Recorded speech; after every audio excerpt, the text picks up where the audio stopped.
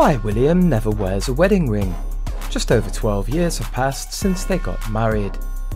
But in all that time, Kate has publicly signified her commitment by donning Princess Diana's renowned sapphire and custom gold wedding band, while William has never worn a wedding ring. Thousands of those watching the royal wedding back in 2011 were stunned to see after William slipped the wedding ring on his bride's finger that the symbolic ritual wasn't reciprocated. However, it is the prince's personal preference to forego wearing a wedding ring. A royal aide spills.